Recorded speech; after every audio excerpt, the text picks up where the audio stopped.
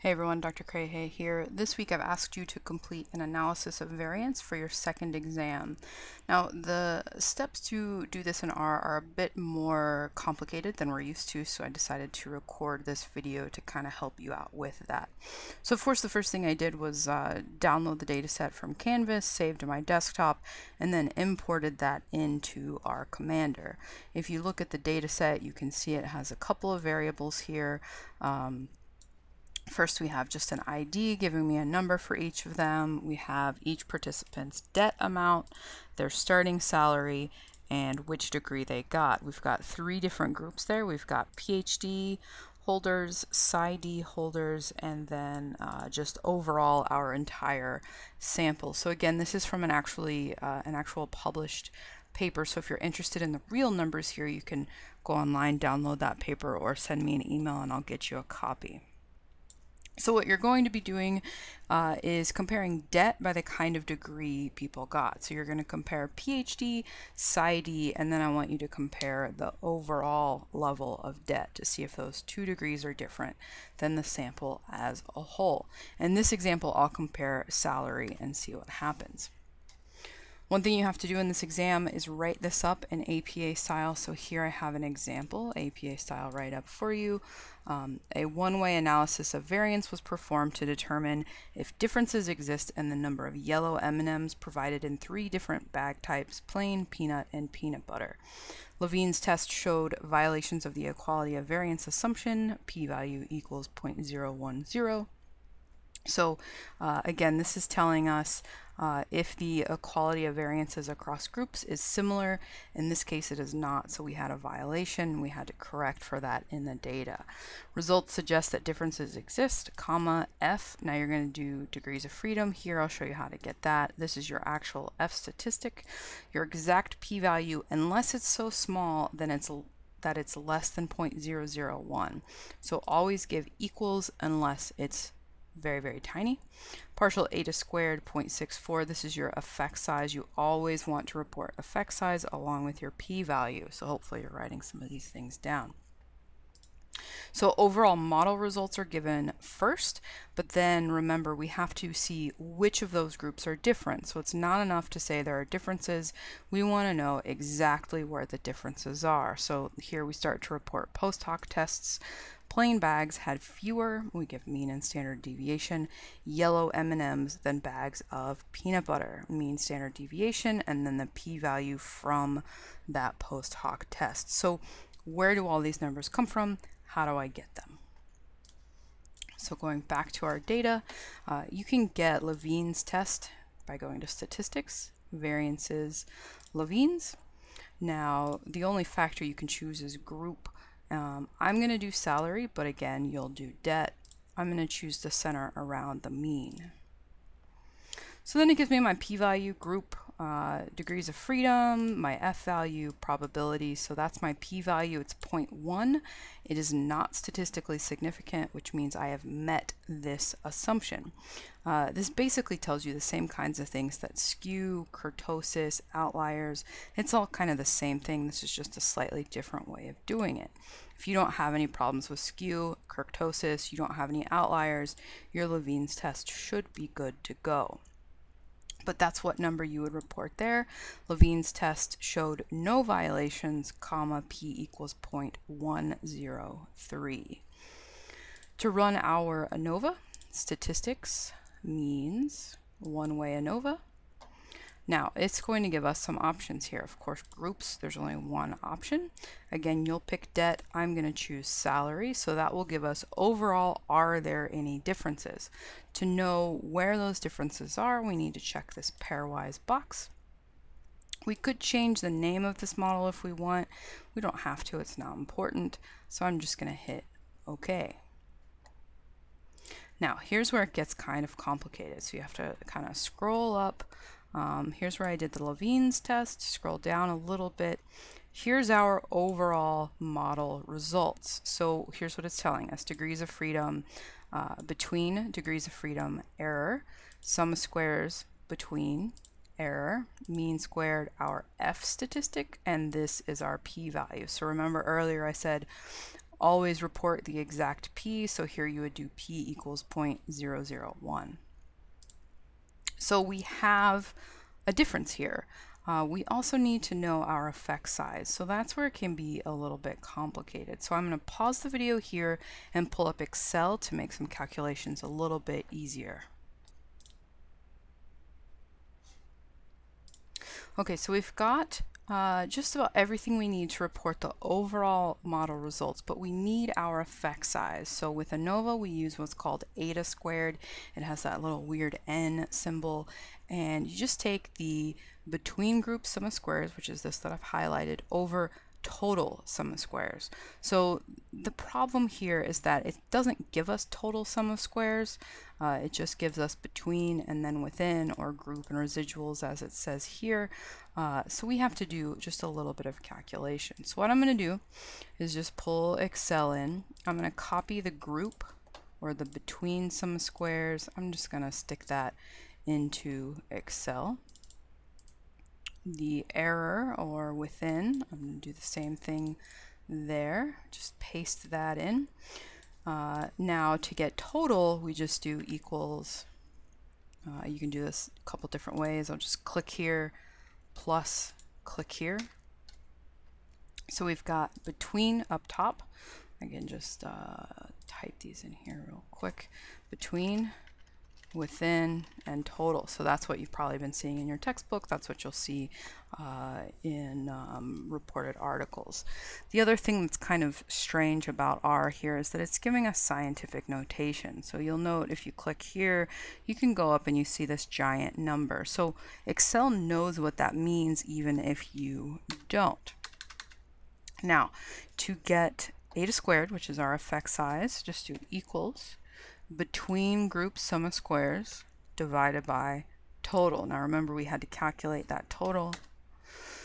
So again, we get, you know, a weird kind of um, scientific notation here. And this time it just gives us our formula. So you could do a couple of different things.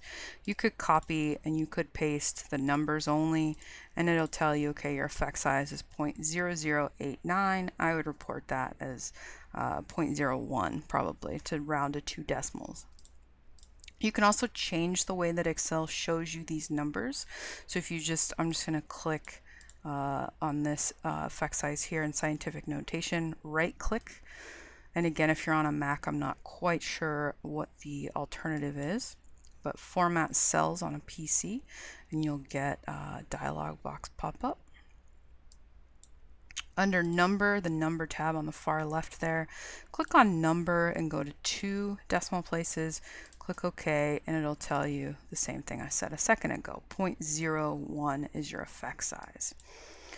So looking at that, before we go any further, how do we type this up? So you can say a one-way analysis of variance was performed to determine if differences exist in, I'm just going to copy that because you can use the same thing, paste that, exist in salary by type of degree earned. Now skipping to oh, earned. Levene's test. Just going to copy that sentence and edit it to fit my specific situations.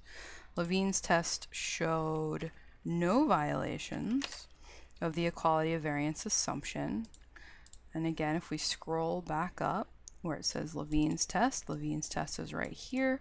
Our P is 103. P equals 0.103. So far so good. Now results suggest just copy that right here. We'll come back to it. So results suggest that differences exist. If we scroll down to our overall model results, so we've got a couple of different things to do here. Let's see if I can make this smaller. Oh, okay, well, we'll just do this the best we can. All right, so here you've got F in parentheses degrees of freedom between degrees of freedom residual. So we've got 2, comma, 1494. And again, I'm just copying this from the results right here. Equals our F statistic is 6.759. Round everything except P to 2. So our F would be 6.76.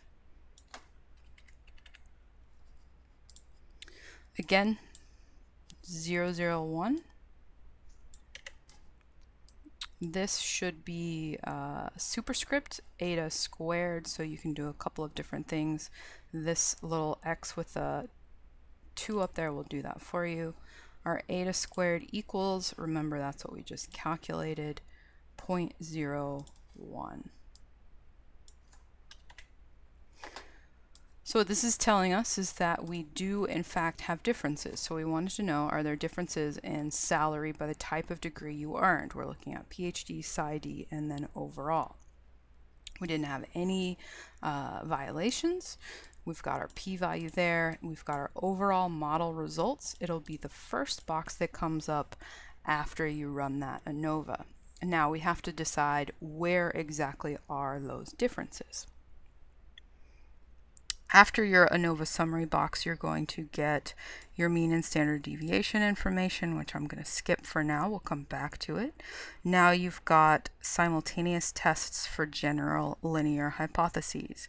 So it's doing Tukey tests. So if you're reading your textbook about different post hocs, that's which one we're using here.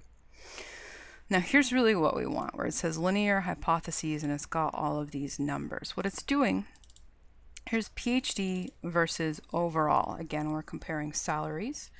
You've got estimate, you've got standard error, you've got your t-value. What we're really paying attention to here is your p-value. So that's the probability less than the absolute value of t column there. So comparing PhD versus overall, these salaries are different.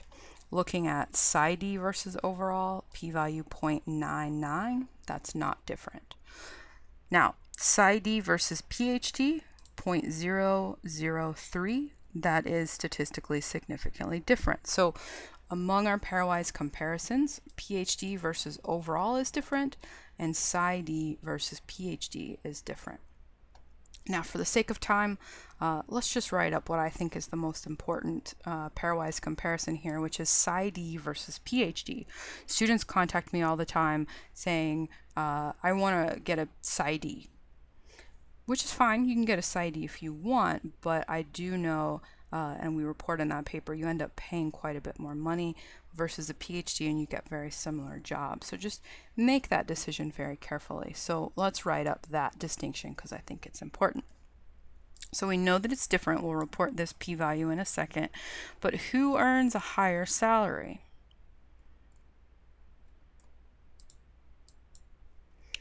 So go back up to our mean and standard deviation information. It looks like PhDs on average 66,744 a year, PsyD on average 62 uh, 623. So PhDs actually have higher salaries than PsyDs in this data.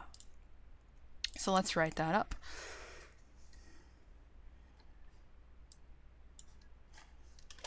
Uh, participants with a PhD, and then in parentheses, I'm going to report mean and standard deviation information. So the overall for PhD salary right here, and I'm just going to format that. Remember your dollar signs, commas, make sure it's to two decimals.